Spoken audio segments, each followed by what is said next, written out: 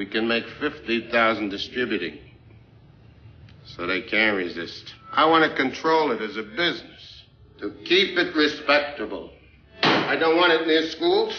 I don't want it sold to children. That's an infamia. In my city, we would keep the traffic in the dark, people, to call it. They're animals anyway, so let them lose their souls.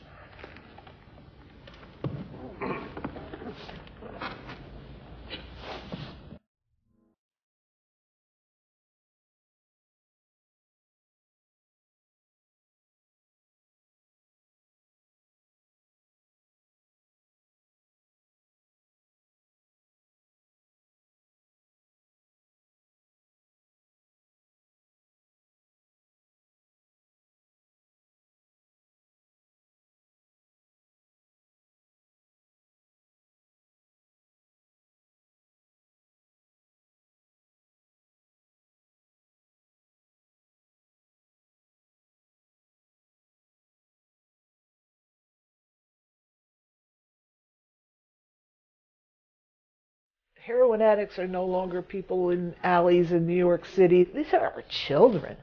These are children. But first, a News 12 special report that will change everything you think you know about heroin in the Hudson Valley and the people getting hooked.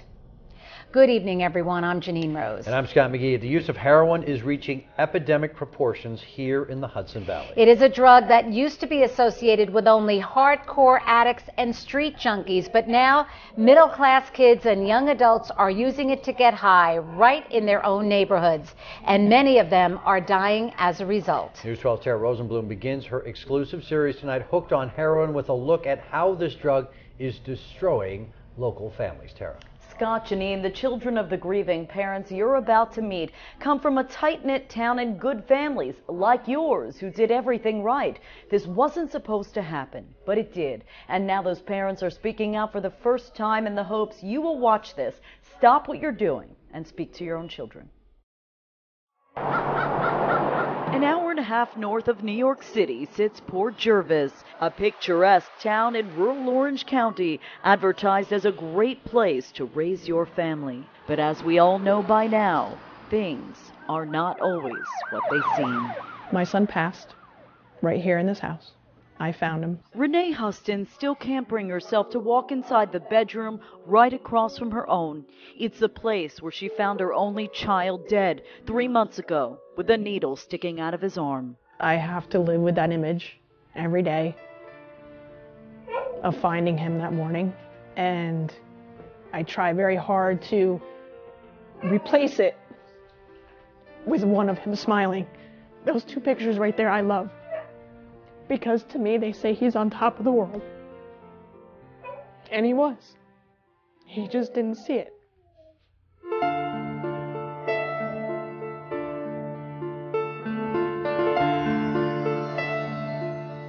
Lying in bed covered up with blankets, sweating, but freezing.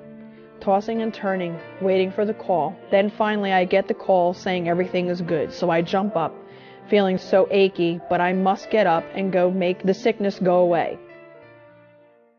Every day for me is a bad day. It's just when I wake up how I choose to deal with it. Losing her only child when he was just 23 thrust Renee Hustins into an exclusive club no one wants to be a part of. I don't think there's anything more devastating than losing a child. It's a club we didn't know even existed until we showed up in this kitchen ready to talk to one grieving parent and found five instead. My name is Peter. I lost my son Ryan on October 11th, 2013. My name is Kim, and I lost my son James JJ uh, no, November 9th, 2012, from a heroin overdose. My name is Jackie Vidal. I lost my son Ricky three years ago to a heroin overdose. He was 18 years old. Quick, get in the car, give them the money, get the stuff. Once strangers, they now lean on each other like old friends. Ben and I were having a heated argument, or whatever, and I drove by the cemetery. I'm like, would you like me to pick you a lot? From the conversations that still haunt them. I asked my kid, I said, listen, I said, Ryan, what do you want in your obituary? Oh. To the haunting sense, perhaps they could have done more. I should have had him arrested when he stole stuff. You know what? I did. You had him arrested? Yes, I You're a did. brave woman. I couldn't do it. And let me tell you what, I thought that was going to be the hardest thing I'd ever have to do in my life. No. Right, I didn't ever think I was going to bury him. right. Their stories are strikingly similar and will leave you asking how did heroin take hold? I opened the bags, cutting them with a razor, pouring the powder into a spoon. None of their children fit the profile of an addict. Ryan was a very sociable kid, very intelligent, big brown eyes and a beautiful smile. His smile would grace right over you. He was beautiful.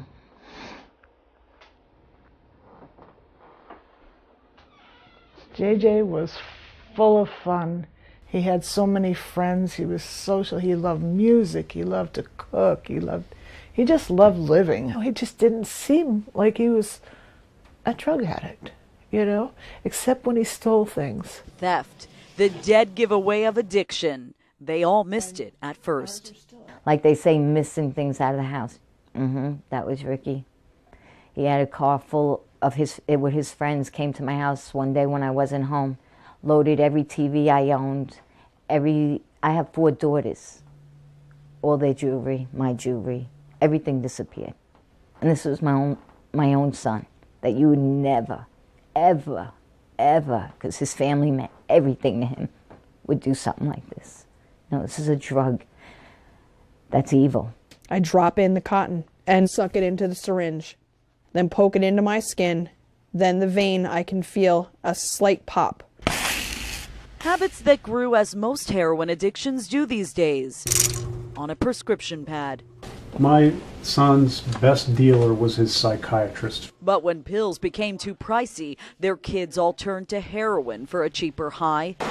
In Port Jervis, a deck of heroin cost just $10. I push the plunger down and wait a millisecond. Then the sweet release. And we're told it's easier to buy than a pack of cigarettes. It's so widespread. I mean, probably I could get some. We had delivery boys come into our house. It's that easy. And today, the heroin is more dangerous than ever. Dealers have made it so potent, students are getting hooked after one high. This amazing warmth starting in my chest, then spreading to the rest of my body. And the sickness is gone and the bliss starts. Even 20 rehab visits in four years couldn't help Peter's son Ryan shake the habit. When they're in rehab, it's probably the same as if they're in jail. There's a relief because in your mind you say, they're safe tonight.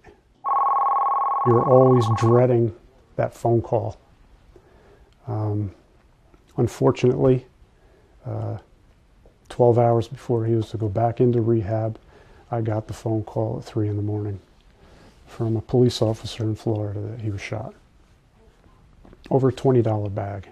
Ryan became the sixth heroin addict to die in just two years in this tiny town of 9,000.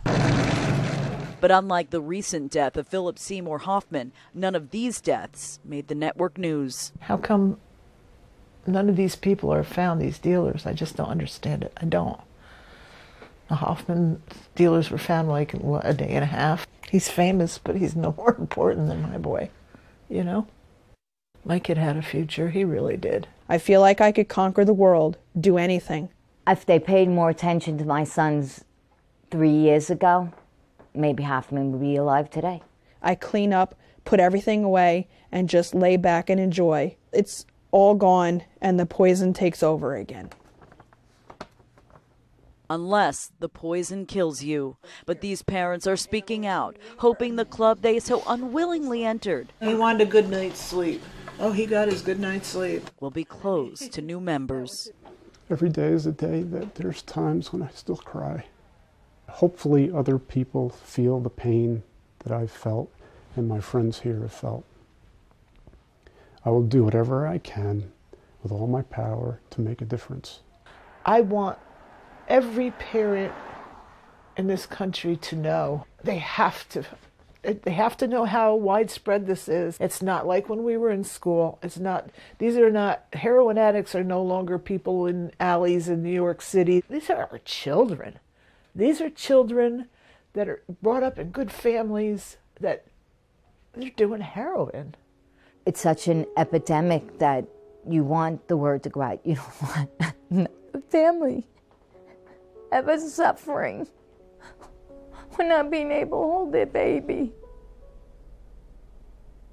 And we thank all those parents for having the courage to come forward. Renee, Peter, Kim, Jackie, it happened to their children and it could happen to yours. In fact, since we first met up to hear their stories last month, yet another young high school graduate from Port Jervis suffered a fatal heroin overdose. If you think your child might be battling addiction, we've got a long list of resources to help you on our website at news12.com. Just click on the numbers and links section.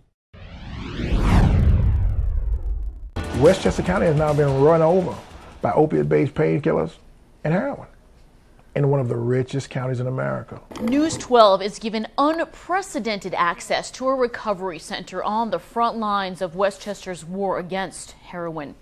Well, heroin is now a drug of choice for addicts nationwide. Here at home, people are dying in alarming numbers. Heroin deaths locally have nearly doubled in just the past four years. And every day, addicts across our area are turning to recovery centers as a last hope in beating demons that they cannot tackle on their own.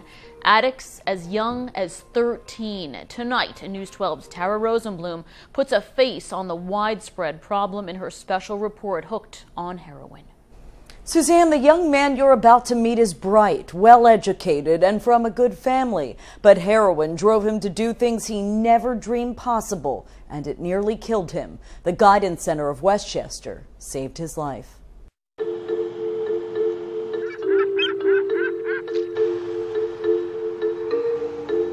You think of Westchester, you think of big houses and rich kids, and, and it's here just as much as it is in the Bronx or anywhere else in the city. By like eighth grade, I was, I was a, basically a full-blown addict. Westchester County might be one of the richest counties in America. Unless it opens its eyes, it's going to have one of the largest problems in America.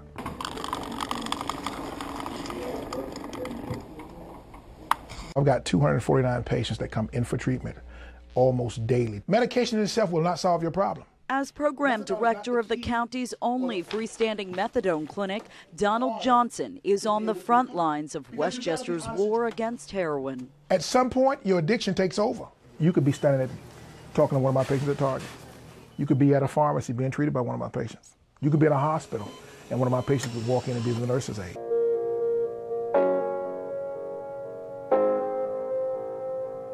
Probably started trying it when I was 10. You were just 10 years old. Yeah. At a time when most little boys are focused on baseball and video games, Brian Barry was worried about his next high. First, it was marijuana and alcohol, but by the time he was old enough to drive, I started messing with the heavier stuff probably when I was 15. Prescription pills, like Oxycontin, Xanax. And if you had asked Brian back then, graduating to anything stronger was simply out of the question. I was scared of needles. If you tried to take my blood, I would faint.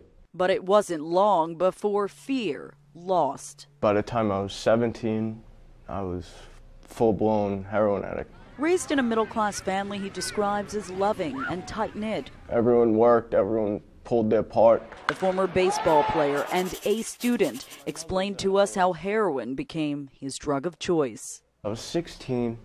I was staying at a friend's house. There was two of my friends there. They were probably a couple years older than me. And there was a line on the table. I thought it was cocaine.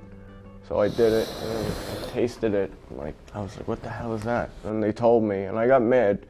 And they're like, just if you're still mad in five minutes, we'll talk. And I wasn't mad. I was, that was, there was no going back after that. Just one hit, that's all it took, and soon Brian was shooting up for a more intense high. It's kind of like, I want to say like an ecstasy feeling. It's like a euphoria. It's like a rush. Brian eventually got kicked out of Blessed Sacrament High School in New Rochelle and started life as a full-time junkie. Feels like you're trapped. I guess it's like you're being controlled. And Brian was amazed at what he was willing to do to feed his addiction. Robberies, burglaries, stick ups, robbing drug dealers. Risky behavior that almost proved deadly several times. I've been shot at, I've had knives pulled out on me, things like that. I've been jumped. But even with the threat of death, Brian could not escape the tight grip of addiction. I've overdosed. It didn't stop me. Get out of the hospital and do it all over again. So, just slows you down for that day. It won't- doesn't stop you, even come close. Neither did a six foot cell. When I was 16, I got arrested for a burglary. When I was 17, I got arrested for three more. They offered me like seven years. Like my heart basically just fell. He wound up serving six months, all the while still using behind bars. So, what ultimately scared Brian straight? After being released to a halfway house, he failed a drug test and faced hard time. So, instead of looking for his next fix, I wake up every morning, I come here. Brian finally got a glimpse Thank you. of the big picture. You don't hear about a successful heroin user. You don't see a 70 year old heroin user. It's because they're all dead or in jail.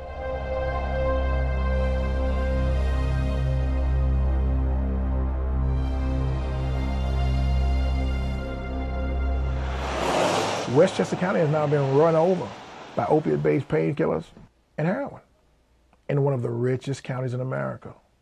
You have money to buy it, the drug dealers got the way to supply it, and now you've got a problem. A problem Donald Johnson says can be directly traced to the overprescription of painkillers like oxycodone. This last four or five months has been really frightening because prescription pain medication abuse has taken off to a level we've not seen. And when they can't get prescription pain medicine, they usually reach out to and secure the next cheapest thing, which is heroin. And heroin at a $5 bag is a cheaper high than a prescription pain medicine, but it's much more deadly. And Johnson says even more disturbing are the faces of the newest victims.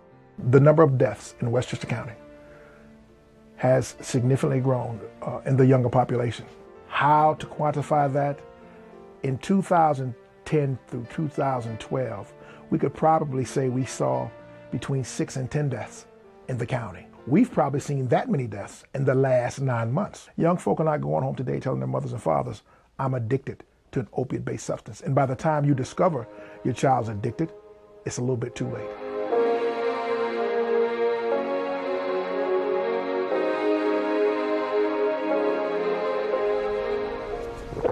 But a lucky few arrived just in time here at the Guidance Center in New Rochelle Have a good day. before it's too late. If you don't educate the county about the problem, the problem will continue to be what it is, and it'll get bigger and fast. The thought is always there. As for Brian, every day he still fights the demons that destroyed his childhood.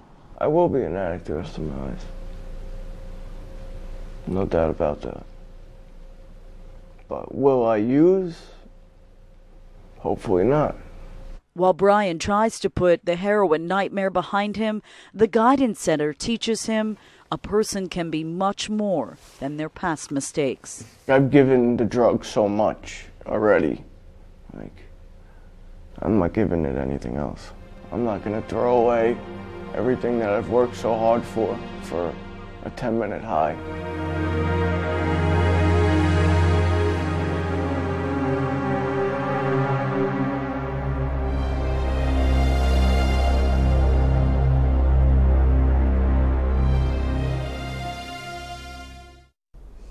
And certainly it's not easy to come forward and admit you have a problem in such a public fashion. So we want to thank Brian for his courage and the Guidance Center of Westchester for allowing us inside their world. And parents, here are some telltale signs of heroin addiction. A loss of appetite, rapid weight loss, and things start disappearing from your home. We've got a long list of resources on our website, news12.com, that can help you or a loved one find help. Tara Rosenblum, News 12. It is a powerful report. Tara, thank you for that. Well, police are on the front lines fighting the war on heroin, trying to put the dealers behind bars. We're heading over to a known drug location. News 12 goes undercover with the Peekskill Police Department. Tomorrow, we'll tell you the shocking places that heroin is being bought and sold right here in the Hudson Valley. So stay with us here at News 12 and News12.com for continuing coverage of our special series, Hooked on Heroin and the Deadly Effects of this Epidemic. Welcome back, everyone. Tonight, the conclusion of our special report, Hooked on Heroin. Yeah, you've seen how the drug is taking more young lives and destroying more families than ever before. But what you have not seen is the people working on the front lines every day, trying to take dealers off our streets and put them behind bars. News 12's Tara Rosenblum rode along with a veteran Peekskill drug enforcement officer to get a first-hand look at the problem. Tara. Scott, we spent two days undercover with a police officer on the front lines of Westchester's war against heroin. And as a new mother myself, what I saw left me terrified. Addicts are scoring heroin near shopping markets, elementary schools, and inside one place that will shock you. But police are fighting back. What do we need to know as we head out today? Keep your head down. Right off the bat, we learned this is no regular ride along. With veteran Peekskill officer Matt Basso, he told us to keep our heads down or they might get blown off. There's a huge heroin epidemic in Peekskill. And with that, drug profits that need to be defended. There's some times where you know you'll you'll leave the police station, you'll go on a patrol, and every car you pull over, you'll make a you'll make a drug arrest. This drug used to be considered taboo. It was something that was kind of left in the alleyways or in the slums, and now it's you know it's in it's in your neighborhoods, it's in your backyards. It's it's touched, you know, your families, someone you've known, friend, someone you grew up with. Officer Basso told us the city is awash in cheap yet potent heroin, and the proof came quickly. We're gonna drive around. We're gonna uh, sit on a couple of the dope houses, and we're gonna see if we can get someone coming in to purchase heroin. We're heading over to a uh, known drug location. Our ride along continues. This drug knows no race, no ethnicity, no age, no no uh, social class. It's pretty universal. I can tell when someone's on heroin. Addiction is something Officer Basso has learned to spot right away. They look like walking, walking zombies. They just wither away. It's just disgusting. It's just, the disease just eats them. The addiction just eats them. That's that's the only thing that they live for.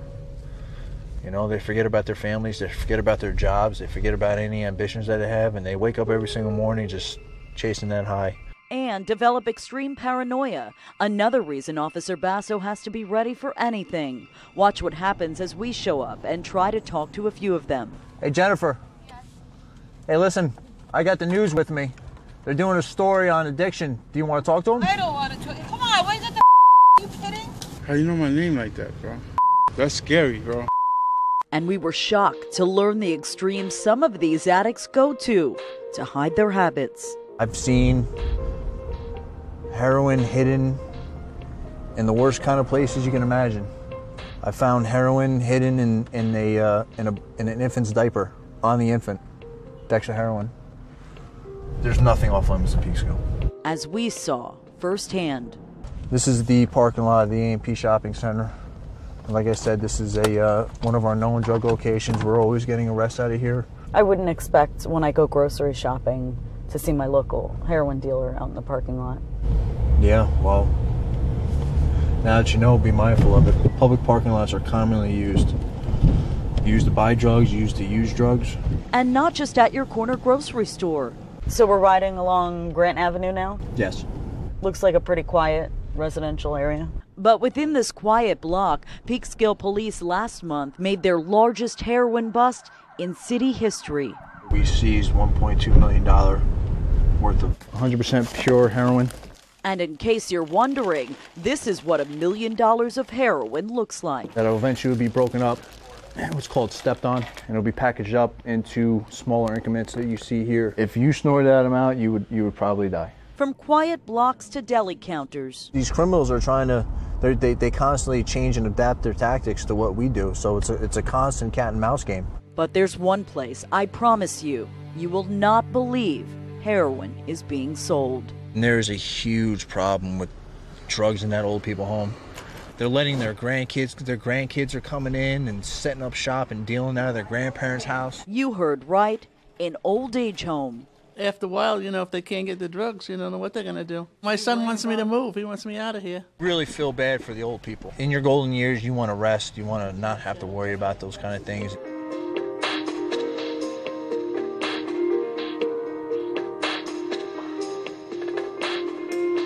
New information in a heroin investigation at a Sullivan County elementary school. At least two young men have died of heroin overdoses. Meantime, police in Carmel are issuing a warning after four heroin overdoses in just the last two weeks.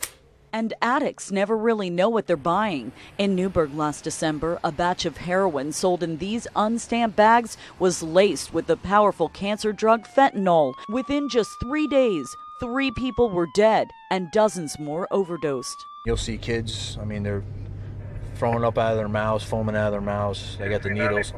They got the needles sticking out of their arm. But there's only so much a local cop like Officer Basso can do. That's why New York Senior Senator Chuck Schumer is pushing for federal action.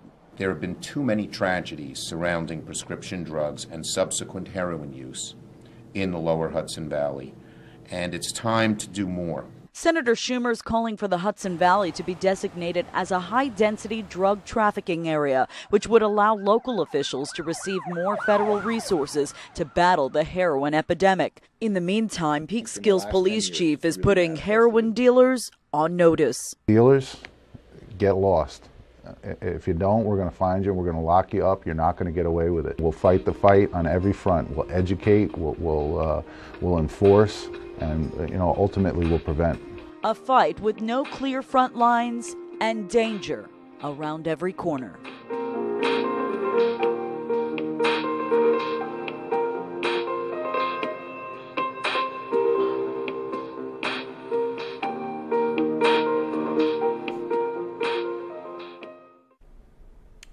Give a very special thank you to the Peekskill Police Department for allowing us inside their world. We hope this report and the others we told this week will serve as an urgent wake up call. Children are dying, families are being destroyed, communities torn apart. Victor and Doreen Siapa never guessed that their daughter was hooked on heroin. Almost two years after Natalie's death, her parents say too many kids are blind to the dangers. This is not like drinking a six pack of Budweiser on a Friday night. If you snort one line of this, you're going to be a slave to it. Natalie's overdose was not an isolated case. When Nassau County Police started tracking heroin related deaths, they found that a drug long popular in urban communities had caught on with teens in suburbia. In the last year alone, Nassau County Police made almost 400 arrests related to heroin. With arrest numbers still high this year, the police are now starting new initiatives to get parents to become more aware. We know there's a, a nexus between uh, people buying it here in Nassau County and perhaps purchasing it in, uh, say, Brooklyn. A packet of heroin can cost as little as $5, and while injecting it might have scared some users in the past, today's teens seem to think that snorting and sniffing are less harmful, even though those methods are also addictive. The morning Natalie failed to return from a party, Doreen phoned her daughter's friends. One call led to a house in Seaford where the mother found her daughter motionless. And I said, She's obviously not sleeping. You could tell. She looked like somebody had just tossed her on the couch. And um, I yelled, you know, call 911. The Siapas say their loss should awaken others that heroin is not only a problem in the city. We just thought it was a drug that every now and then you hear of somebody famous dying from it. We just didn't know it was here. Chow Dang, Columbia News Tonight. Here we begin a series of reports across all platforms of NBC News examining the urgent and growing heroin problem in our country. The numbers are staggering. Over just a five year period, heroin abuse has nearly doubled in America. Tonight, we're going to begin our reporting in New England because it's a snapshot of what's unfolding in communities across the country. It's so bad in parts of Vermont that this year that state's governor devoted his entire state of the state to this one topic, the epidemic, calling it a full blown heroin crisis. We get our report tonight from national correspondent Kate Snow. Look past the lighthouses and covered bridges. As we drove through, we found another New England, where a bucket of used heroin needles at a needle exchange one afternoon measures the scale of the problem in Portland, Maine. When did you start filling that bucket? This bucket was changed this morning, so all This of those morning? needles are just from today. Yep. Parents support each other in Salem, Massachusetts. We found some needles in our room and it was just, it blew us away. And the Walmart parking lot in quiet Rutland, Vermont is known as the place where 20 bucks buys a ticket, local slang for a small baggie of heroin. The number of people dying from a heroin overdose in Vermont more than doubled in just one year. All over the state, there are waiting lists to get into treatment clinics like Green Mountain Family Medicine. It's hard. I mean, the the downhill spiral, it was so fast that I didn't know what I was doing. How many do I have on my list? Dr. Dean McKenzie says heroin has a grip on this town. After a while, you're not doing it to get high. You're doing it to survive. You're doing it so you don't get sick. His wife, Dr. Cheryl McKenzie, is in the same field, a psychologist. They live in a beautiful home in the mountains with their young kids. Their older son, Ryan, took us on a tour of Rutland. There's a couple dealers on this road right here. Um, On this road where the kids are riding their bikes? Yep, on the road where the kids are riding their bikes. Actually, How do you know that? Because I've bought from there before. That's right. The son of parents who dedicated their lives to fighting substance abuse was secretly hooked on heroin while living in their home. The boy who'd been a bookworm, a bright student joining the Model UN in high school, started using prescription painkillers and got addicted to those. But pills have become harder to come by in Vermont. My dealer couldn't get them anymore, so I couldn't get them. And then, as I couldn't get them, heroin started to move in. She suggested And she- heroin. Yeah, she suggested heroin, and it moved on from there. When Ryan confessed he was addicted, Cheryl went through his room. Found um, needles and spoons. I was always wondering where my spoons were going. And I really thought that maybe maybe the kids were throwing them out with their plates. No, that's not where the spoons were going. You're doctors. Uh-huh. We're parents. It's very easy to try to put on your doctor hat. We're parents. We're just like any other parent who's dealing with someone with an addiction. Ryan tells us he's been clean for a year as of last weekend. You love your son, clearly. I adore my son. I absolutely adore my son. She loves this state, too, and is working with others across the Rutland community to change what's happening here. Every time we go to a meeting, it gets bigger and bigger. And that's what we need to see happen. People who have addictions to come forward, ask for help. Don't be embarrassed.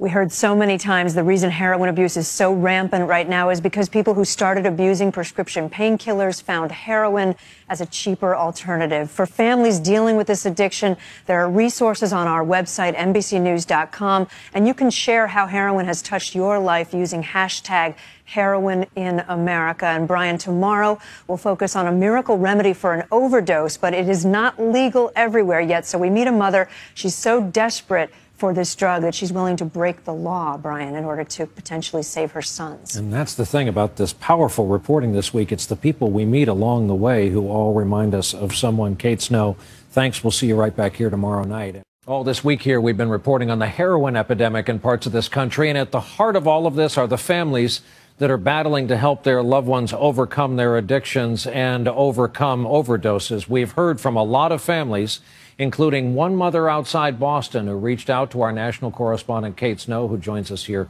in the studio tonight. Kate. Brian, so many people, so many messages start my son, my brother, my daughter. And late Monday, one about a young man who'd overdosed and re- was revived with a drug called Narcan in a suburb of Boston. His mom wrote, Son was almost taken in ICU tonight after three doses Narcan. Thank God paramedics had it. Well, we found her. The Gordonstein family has been to hell and back this week. Danny is the second oldest of six kids. Last week he overdosed on heroin, and this Monday morning he signed himself up for outpatient rehab, but then wanted one last high. Mom Debbie says most of the family was home when Danny's older brother found him slumped over in his room. I just kept yelling, Is he alive? And they kept saying yes. Her daughter Samantha was trying to shield her nine year old sister from seeing her big brother like this. And I saw my dad holding him, and that's when she looked at me and just said, Is he going to live? And she just broke down crying. Danny's disease is affecting everyone in this family, says his father David. You don't sleep. Uh, I, I watch my teenagers, you know, stress out about it. It's hard to try to explain to a nine year old what drug abuse is. In the corner of her son's hospital room, Debbie was calling residential rehab facilities. It was the second time in a week that he's overdosed. It's a struggle many families face. There's no guidebook for rehab centers, and insurance doesn't often cover lengthy residential treatment. You have to be on the phone. It's a full time job. I have six kids, Managing an addiction is a full time job. She can't wait for a bed to open in a state run facility, so she's found a spot at a private rehab in Tennessee. Family members are loaning them the $20,000 for a 30 day stay. I'm just praying that it works, that it really works. Looking through photos yesterday, Debbie came across a birthday three. card Danny wrote in, You value time with me and everyone else in the family. telling his mom how much she means to him. I haven't read it in a long time. I needed to hear that today from him. And I know he's going to say it again. Tonight, Danny is on his way to Tennessee to start treatment. I'm not ashamed of my son. I'm proud of my son. And I love him with every fiber of my being. And there is nothing I won't do to make sure that I give him every shot at recovery. The drug that saved Danny on Monday is Narcan. An update on our story from last week about that. The governor of Maine had told us he opposed allowing parents to have Narcan, but this week he changed course. He now supports making it available to immediate family members under certain conditions, Brian. Opening a lot of eyes with your work here. Kate Snow with us as part of this series. Kate, thanks. A shocking number out today from the government. A person dies in this country every 36 minutes from an opioid drug overdose, either prescription painkillers or heroin. And the FDA says accidental drug poisoning has now surpassed car accidents as the leading cause of accidental death in this country. There is a drug that can reverse an overdose and stop people from dying. Some emergency responders have been using it. Today, the feds took a major step in making sure that drug is even more widely available. We get our report tonight from our national correspondent, Kate Snow. In Portland, Maine, we rode along with paramedics who routinely use a drug called naloxone to bring someone back from an overdose. It's an amazing medication. You know, they can be unconscious, not breathing, and they wake right up. Nationwide, the drug has saved more than 10,000 people, and today the FDA approved a new version that can be prescribed to families and friends of someone who might overdose on heroin or opioid painkillers. This approval today will enable care, emergency care, life saving care to be given on the spot when it's needed, whether you're in a clinic or a hospital or on the street. The new device called Evzio, which will be available this summer, talks you through a quick injection through clothing. Injection complete. Seek emergency medical attention. The FDA today compared it to having a defibrillator around in case someone has a heart attack or an EpiPen for allergic reactions. Until now, access to naloxone has depended on where you live. Twist it in. Outside Boston, they train dozens of parents each week to use a nasal spray version of the drug. Parents like Jack Riley. Why would you not provide a resource that could allow a parent or a loved one to save the person? But in other places, it's illegal for parents to have. Maine's Governor Paul LePage has opposed legislation to widen distribution in his state. Do you believe that it should be distributed to parents, for example, No. who have a child? Why not? because it's an escape. It's an excuse to stay addicted. I think we need to treat, let's deal with the treatment, the proper treatment, and not saying go overdose and, oh, by the way, if you do, I'll be there to save you. But with all due respect, Governor, if it can save one life, why would you not support I've, that? I've said my piece on it. The FDA commissioner says there's no scientific evidence to show that people abuse heroin or painkillers more when they know that there's naloxone around. There are so many families so desperate for this drug. They're getting it from the underground right now. We're going to meet some of them next week in a special series across all of NBC News, Brian, about the heroin epidemic here in America. We'll look forward to that. An important topic. Kate Snow, thank you very much. All this week, we have been airing a series of reports designed to shed light on this country's growing heroin epidemic and the lives that are being destroyed along the way. Tonight, we want to show you a program that's working to help addicts turn their lives around. Here again tonight, our national correspondent, Kate Snow. Good afternoon, sir. Thank you very much. In rural oh, Putnam County, New York, Judge James Reitz is forcing addicts to get clean. How many meetings a week do you go? Through a combination of compassion. Please make good decisions. We're here to help you out if you need that. And consequences. You probably came into this program trying to avoid state prison. Yeah, five years. Judge Reitz gave us rare access to his drug court using defendants' first names only. He says heroin now accounts for nearly 60% of his caseload. How many times did I put you in jail? Um, maybe four or five. Right? It's one of more than 2,800 drug courts in all 50 states. Addicts who've committed crimes can avoid going to jail if they successfully complete a two year treatment program. There has been resistance. There are those who think punishment is the answer. Why wouldn't you want to give somebody a fighting chance to stay clean and sober, stay alive, stay out of jail, and become a productive member of society? Everything's okay? Edward went from a straight A student to an addict and a thief. I stole my brother's identity. I took any piece of jewelry that we had in the house. His own parents pressed charges, and he ended up in Judge Reitz's courtroom. He's been clean for six months. Had I not come into this program, I'd be dead right now. I've seen old people, lawyers, doctors, teachers that have lost their licenses because of the drugs. One of those teachers was Michelle. You were teaching while high on heroin. Yes. Using in the bathroom? Teacher bathroom. So irrational that I didn't even think twice if a teacher would walk in. That was how irrational my thinking was. Were you shooting it into your veins? Into my neck. When she failed to comply with court ordered treatment, Judge Reitz sent her to jail. That was her wake up. She's been clean for more than four years. Treatment court motivated me to continue to do the right thing. Now she's part of the judge's team, and that's not all. It's possible to come out the other side. Michelle met her husband Brandon in drug court. With this ring. When they married last I summer. Judge Reitz presided. Michelle, do you take Brandon to be your wedded husband? I do. To see the end result right now today, Michelle, it proves that if we work together as a team in a community, we can change people's lives one day at a time and make a difference. Nationwide, the number of drug courts has doubled in the last decade. Studies have shown that they save taxpayer money because treatment is far less expensive, Brian, than keeping someone in jail. Response has been overwhelming. I know you'll stay on this topic for us. Kate Snow back with us tonight. Thanks. More now in our series this week on the heroin epidemic in this country. Tonight, a closer look at how to reverse an overdose using a drug that can bring people back from the dead. It's known by the brand name Narcan. A lot of paramedics and first aid squads carry it. It has already saved thousands of Americans. And while the FDA just last week approved a new form available by prescription this summer, right now in a lot of places it remains illegal for anyone outside the medical profession, leading some families of addicts to take extreme measures. Here again is our national correspondent, Kate Snow. Outside St. Louis, this mom is so desperate to protect her family, she's willing to break the law. Technically, this is illegal for you to have in the state of Missouri. Yes, it is. Denise, who asked us not to use her last name, keeps those vials filled with Narcan on her dresser, injected into a muscle, and it can instantly reverse an overdose. If they're laying on the floor dead, I'm going to save their life before an ambulance could get here and save their life. They are her sons, Ben and Ryan, both of them living with her, both of them heroin addicts, sleeping in the rooms they grew up in. Denise has sent them to rehab, but they relapsed.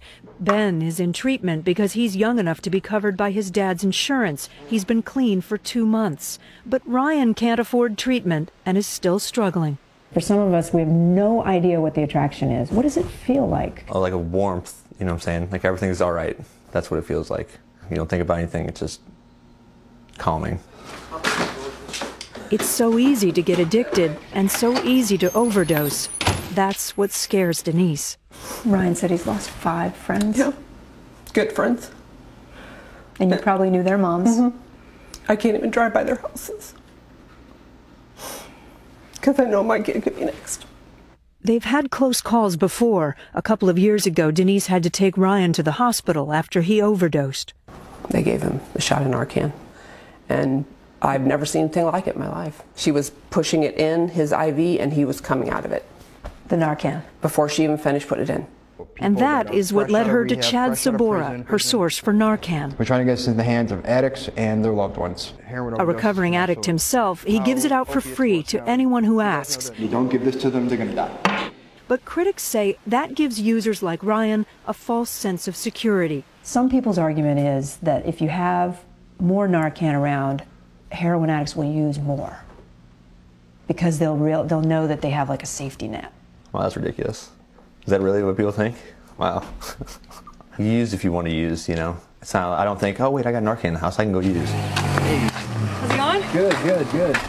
A few hours after our interview with Ryan, mom and sons meet up at Chad's apartment. Ryan says he's been drinking with friends, but as they watch Chad explain Push up how to use Narcan, in, it becomes clear that up he is really high. slowly. You been using? No, I didn't use heroin. Just drinking. Yeah. I did take a Xanax too. Denise and Chad don't believe him. They think he's on heroin. Are you more worried about him than Yes. you were this morning? Yes. Yes. He knows we're doing this. He goes, he gets high. That's why you're here, though, right? Right. Denise never thought she'd raise two heroin addicts or break the law to save them, but she says she has no choice. I mean, your kids are everything to you.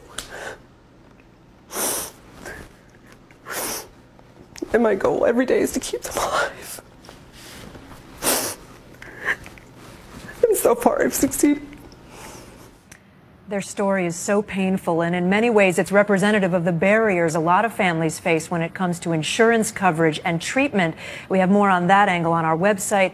We have had so much response, Brian, using the hashtag heroin in America. This is such powerful stuff, and thank you for being here to tell their stories. Kate Snow with us again tonight.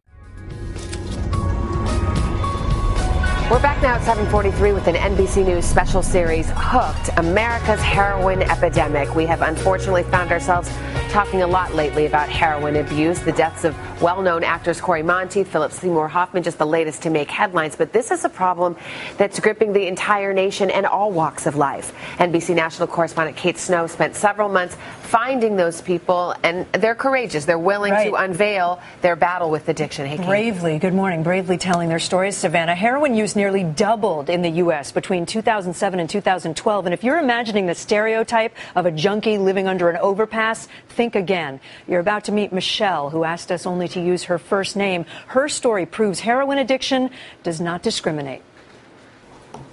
I'm a great mom. I'm a teacher. I'm a daughter, a, a niece. I'm all of these great things. And then I am a heroin addict showing up at a 4th of July party with track marks.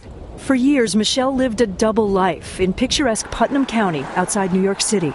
Her story defies the stereotype of a heroin addict.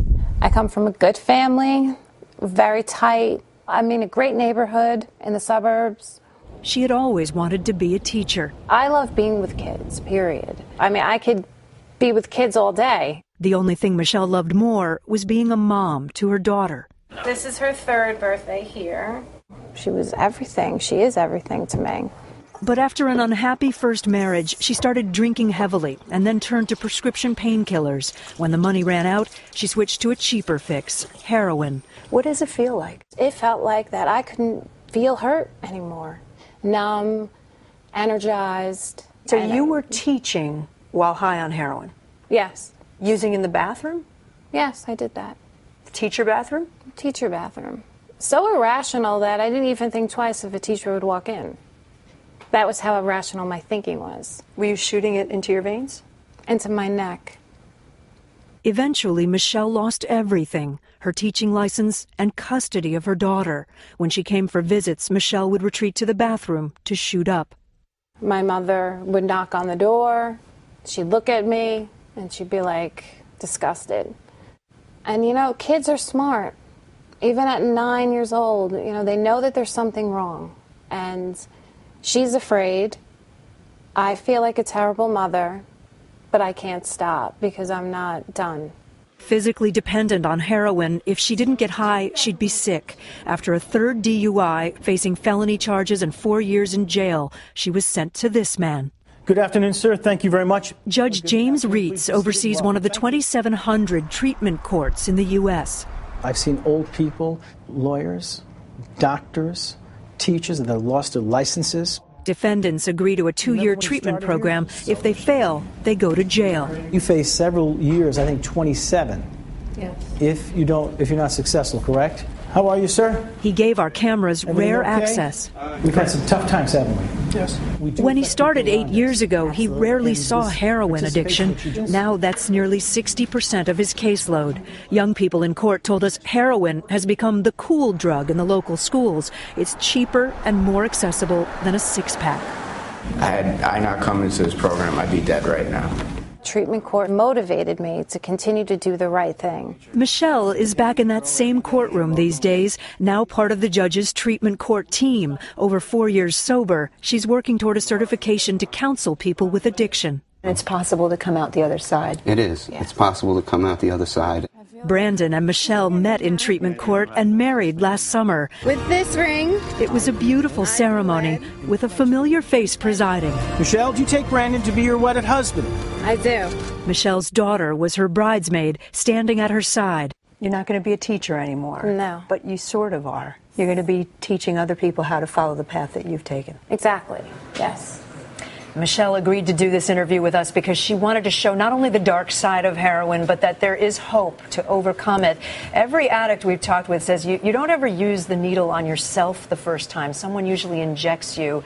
You get this amazing high at first, but this highly addictive drug takes over so quickly. And as we know, so many of these stories don't have a happy ending. It can be a lifelong battle addiction. But again, Michelle doing so well now and, and bravely sharing that story so that others can learn. We also have more resources on our website if you're looking for help, if you need that kind of a, a hotline or resource. It's at such an astounding series. You had an expert in your piece last night on Nightly who said it, it, there becomes a time when they're not even shooting up to get high. It's just to survive. That's what Michelle said. I would be sick if I didn't if I didn't take more heroin or more drugs, and so you sort of sustain yourself that way, and you don't know how to get out. Well, this is a real issue facing our country, and Kate, you're taking a deep dive. I want to remind everybody you can see more of Hooked, America's Heroin Epidemic, all this week, all across the platforms of NBC News.